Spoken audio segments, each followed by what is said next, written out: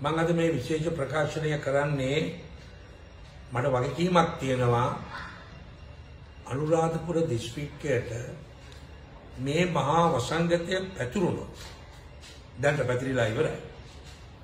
මේක මහා විශාල විනාශයක් වෙන්නේ. ඒ කියන්නේ අසරණ අහිංසක දුප්පත් වැදගත් මහා ප්‍රෞಢත්වයක් තියෙන ගොවිතැන්පත් කරලා හේන් කරලා ජීවත් වෙන මිනිස්සු. ඒ මිනිස්සුන්ගේ අභිප්‍රාය අනුන්ට කරදරයක් නොවන විදියට ජීවත් වීම. දැන් අලුත්ම తত্ত্বය මම කනගාටු වෙනවා සමහර රජයට පක්ෂපාත මාධ්‍ය තියෙනවා. අපිට කමන්නේ නැහැ. රාජ්‍ය මාධ්‍ය දෙකක් තියෙනවා. සමහර මාධ්‍ය රජයට පක්ෂපාතයි. අපි දොස් කියන්නේ නැහැ. එහෙම කට්ටියක් ඉන්නවා. සත්‍ය ප්‍රකාශ කරන මාධ්‍යයක් තිබෙනවා. දැන් මේ මාධ්‍ය වැඩි මිනිස්සු බලනවා. වෙන ආරවුල් අවුල් සත්‍ය ප්‍රකාශ කරනවා. හැබැයි මේ සමහර පළාත්වල සත්‍ය ප්‍රකාශ කිරීම අඩුයි. මැතිවරණයක් තියෙන කාලෙකට අපිට කමන්නේ මොන හරි දැන්නීම් තියෙනවා නොමිලේ පළ කරලා දෙන්න රජයට. අපි විරුද්ධ වෙන්නේ නමුත් මේ මහා වසංගතය පිළිබඳ මිනිස්සු දැනුවත් කිරීම මාධ්‍යයේ යුතුයකමක් ඒක මාධ්‍ය සදාචාර සම්පන්න මාධ්‍යයක් හැටියට.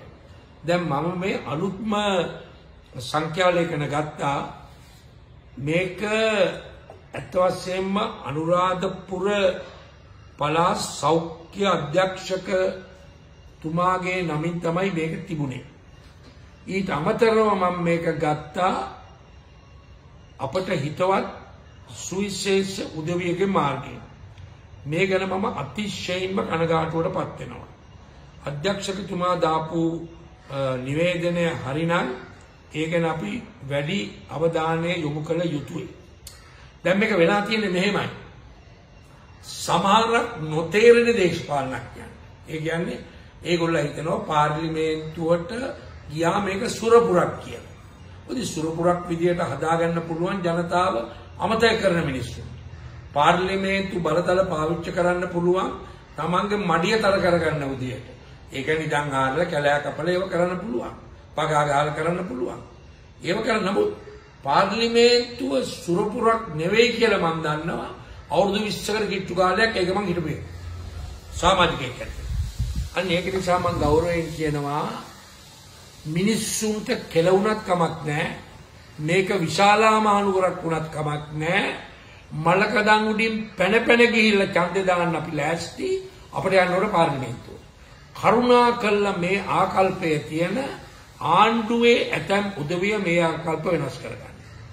මම ජනාධිපතිතුමාගෙන් අගමැතිතුමාගෙන් පමණමයි ඉල්ලන්නේ අනිත් පක්ෂ නායකයොත් එක්ක සාකච්ඡාවක් තියෙනවායි කියලා නෑ ලියුමක් ඉදිරිපත් කරයි කියලා මම දැක්කා මාධ්‍ය තුල.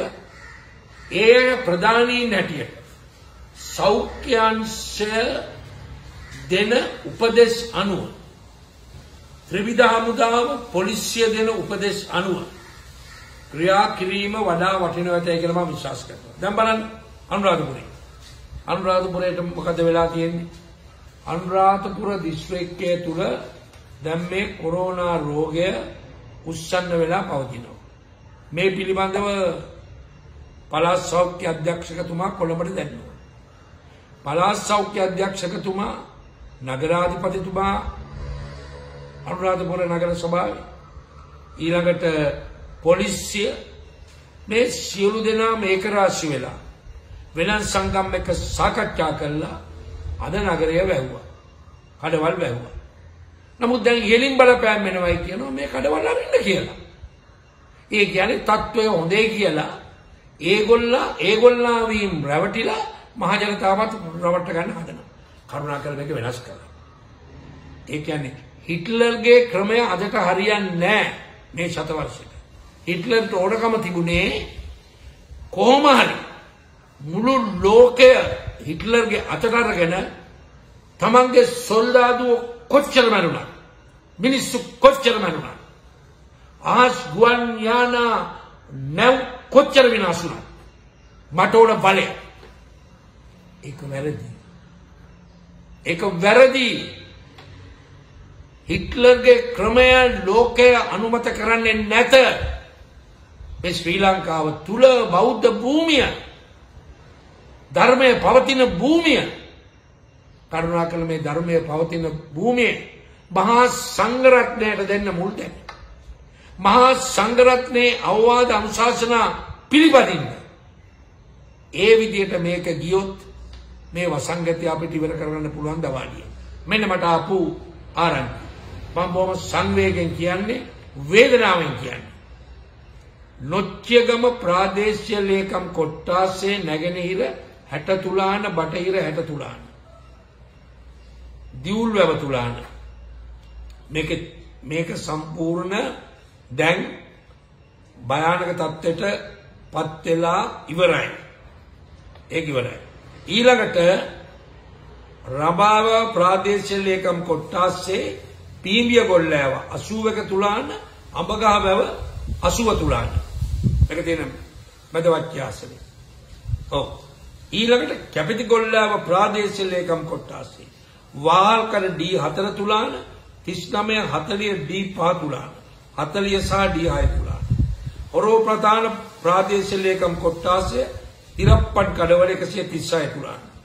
ඉපලෝගම ලේකම් කොට්ටාසය රණවිරු ගම්මානය කරඹෑවා ගල්වංගුව. තුලාන ප්‍රදේශයේ ලේකම් කොට්ටාසය 370 මාවත වැව තුලානේ රොටවැව නව ගම්මාන යන ගම්මාන. මධ්‍යම නුවර ගම්පලාත ප්‍රාදේශීය ලේකම් කොට්ටාසය. පහළගම තුලාන 282. එතකොට මේකමට ඇවිල්ලා තියෙනවා තමුත් එකම ඉපලෝගම කැකිරාව රණජයපුර පවුල් 2000යි. මේකේ ගම්මාන 10ක් 15ක් අතර ගාණක් තියෙනවා. මේ ගම්මාන තියෙන්නේ එක ළඟ. වැරදිලාවක්වත් පරීක්ෂණ වලට භාජනය නොකරොත් මේ විශාල විනාශයක පෙර නිමිති පහළ වෙලා තියෙන්නේ. තවත් මේකේ ගොඩාක් තැන් තියෙනවා දැන් බලන්න. සාලියපුර ඉඳලා අනුරාධපුරයට කිලෝමීටර් 5යි. පදවිය ශ්‍රීපුල ශ්‍රීපුර තලාව මහබුලන්කුලම පරසංගස්වැව මේ සේරම තියෙනවා. මේ කිලෝමීටර් 5ක් තමයි සාලියපුර අනුරාධපුරය. දැන් සාලියපුරත් ඩ්‍රොප් ඩවුන් එකකට ගිහිල්ලා තියෙනවා පළාතක්. මේක කිලෝමීටර් 5ක් වුණාම නගරයට බෝ වීම වැඩි. ඒක නිසා කරුණා කරලා එක්තරා අපේක්ෂකයෙක් කියලා තිබුණා මේ මැතිවරණය අවශ්‍යයි කියලා. ඒ කියන්නේ පාර්ලිමේන්තු යන්න තියෙන ආශාවක් ඇති මිනිස්සු ඉන්නවා. අපට ආශාව තියෙන ජනතාවට මට ආශාව තියෙන්නේ ජනතාව සේවයට ජනතාවට සේවය කිරීම. ඒක නිසා කරුණා කර දැන්වත් රජයේ ඇත්තන් ඇහැරලා මේ රජරට බේරගන්න දැන් බලන්න මට තියෙන අනිත් ආරංචිය පරීක්ෂණ නැහැ. කයිවාරු විතරයි. සංදර්ශන විතරයි. ප්‍රචාර කටයුතු විතරයි.